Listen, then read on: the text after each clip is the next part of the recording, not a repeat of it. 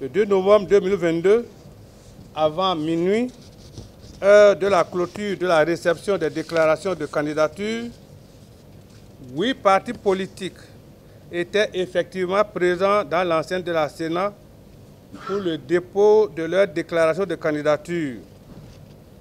Il s'agit, dans l'ordre d'arrivée, 1. Force Cori pour un Bénin émergent, FCBE. 2. Union progressiste Le Renouveau. 3. Bloc républicain. 4. Nouvelle force nationale. 5. Des élites engagées pour l'émancipation du Bénin.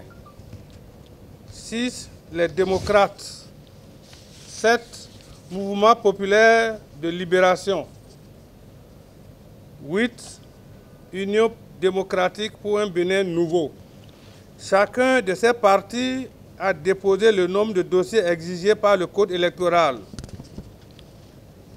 À l'issue de la vérification prescrite à cette étape, et toujours conformément aux dispositions du Code électoral, nous avons délivré à chacune de ces formations politiques le récépissé provisoire devant constater la réception de leur dossier. En pièces jointes à chacun de ces huit récépissés provisoires délivrés a été annexé un rapport de complétude. Dès aujourd'hui, il sera procédé et dans toutes les prochaines heures à l'étude au fond des dossiers.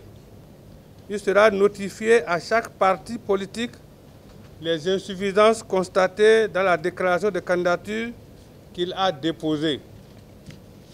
Ces partis disposent de 72 heures ouvrables à compter de la date de notification pour compléter les pièces manquantes et remédier aux autres défaillances de leur dossier.